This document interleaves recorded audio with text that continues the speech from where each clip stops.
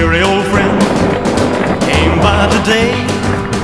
Cause he was telling everyone in town of the love that he just found. And Marie's the name of his latest flame. He talked and talked, and I heard him say that she had.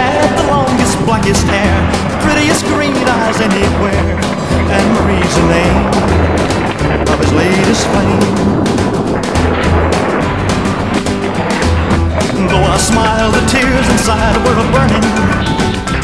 I wished him luck and then he said goodbye.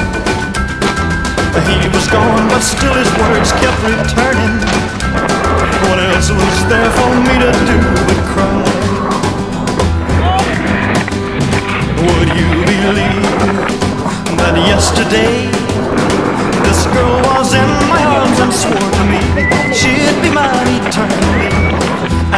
Marie's the name of his latest flame.